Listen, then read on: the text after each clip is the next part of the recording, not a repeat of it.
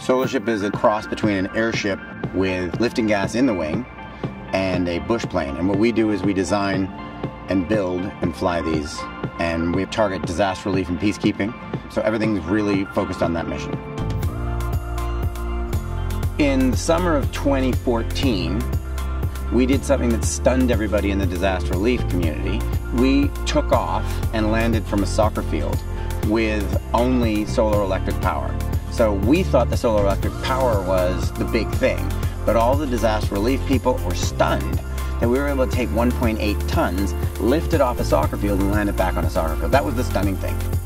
Use the soccer field as the infrastructure for accessing virtually anywhere. Being able to bring medicine, supplies, critical cargo to places that just would previously be supplied by bicycle or donkey or or anything at all. You know, that's that's big. The more we fly, the more we come up with ideas, and when we come up with ideas, we put them into SolidWorks. And when we use SolidWorks, we turn it around into a better aircraft. We use SolidWorks for everything. I use it every day, and really I can't imagine what other tools I would use if I had to replace it. One of the issues that we had in a fast-paced environment is that we had to be able to arrive to answers quickly.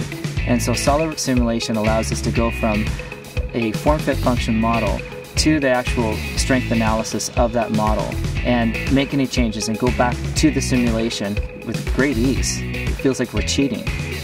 A big thing that we're concerned with is propeller placement.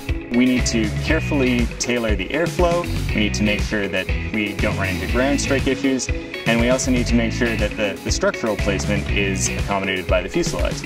SolidWorks helps us solve the propeller placement issue by rapidly and easily allowing us to visualize the placement and work through all the issues associated with the aerodynamics, the ground strike issues, and mechanical structures associated with that.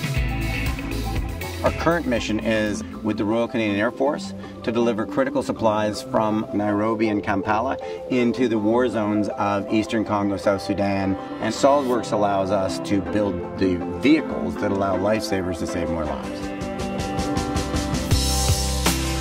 Working at Solarship is really exciting for me because it's working towards something that is going to make such a big difference in the world and change people's lives for the better. It's a great feeling.